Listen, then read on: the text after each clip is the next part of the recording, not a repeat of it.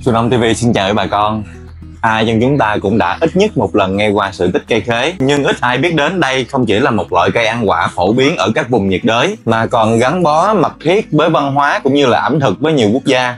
Thì hôm nay Xuân Ông TV xin mời quý bà con cùng tìm hiểu giống cây, khế ngọt. Cây giống khế ngọt có chiều cao từ 70 đến 90 cm Cây khế ngọt có thân gỗ phân cành thấp, Chiều cao trung bình của cây khi trưởng thành là khoảng 4 mét. Ngoài việc trồng để ăn quả thì cây khế ngọt còn được trồng để làm cảnh khá đẹp mắt. Hoa của cây khế ngọt có hình dạng sao nhỏ li ti mọc từng chùm màu trắng khá đẹp. Trái có hình dạng sao thuôn dài, bên trong thịt mọng và có màu vàng rất bắt mắt. Khế ngọt có thể trồng ở nhiều loại đất khác nhau, nhưng phù hợp nhất vẫn là đất tươi xốp, có độ thoát nước tốt, pH tầm 6 là được. Đây là giống cây ưa ẩm nên tưới hai lần trên một tuần và giảm dần sau 3 tháng. Vào thời tiết khô hạn bà con cần tưới nước thường xuyên cho cây, nhưng đừng tưới nhiều quá để tránh tình trạng cây bị ngập úng.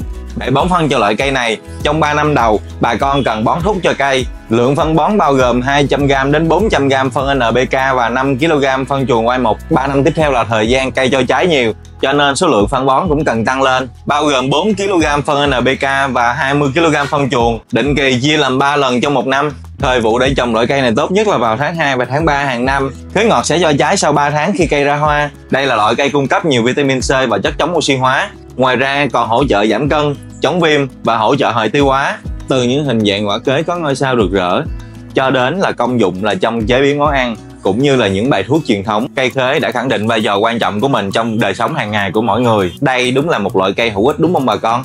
Hiện tại giống cây này đang được bán tại cửa hàng của Xuân Nông. Xin cảm ơn quý bà con đã theo dõi cùng Xuân Nông TV